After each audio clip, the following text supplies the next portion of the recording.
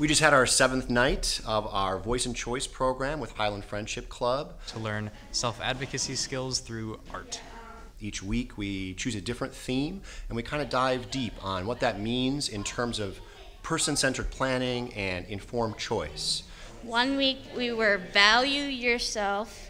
One week was words matter. We do kind of a mix of different kinds of art forms. And in a mirroring activity, we are all following one person in the circle. So he'll point his eyes, and Sarah's going to take that momentum. Matt is so expressive in his eyes, and we have developed ways to paint with Matt, to now dance with Matt, and to even move people across the room just by using his eyes. And so it took all of us focusing very intently on his eyes, on his eyebrows, and which way he wanted us to go, and we all followed him and supported him in that.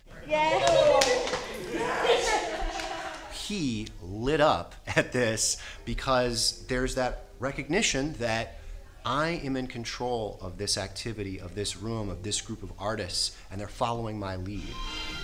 Tonight's theme of failure is okay brought us to creating a new poem uh, about nervousness. One of our teaching artists, Lindsay, led the class through a discussion about how it feels to be nervous, and especially what we do when we find ourselves feeling nervous. When shoulders and stomach can't relax, pumping, shaking, nervous is a fact. A disability, so nervous is like everywhere. For a person with a disability, nervous is everywhere. So, to give them maybe more tools or a fresh way of looking at the feeling of nervousness and how to cope with it and use it and deal with it is a really powerful thing. Here comes the thunder, there goes the light. I'll try all my tricks till the sky looks all right. We gotta call it something, and usually a title. Nervous is coming.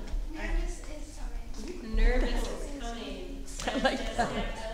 I love it. Every time we find new territory to mine together, we learn new things from each other, and we form stronger and new relationships with each other. Like the painting, I just like every. That's why they I, don't I have like anymore. when every everyone does it together.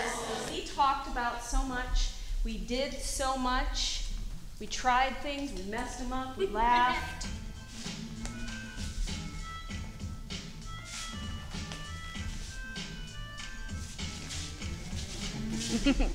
That's all I got.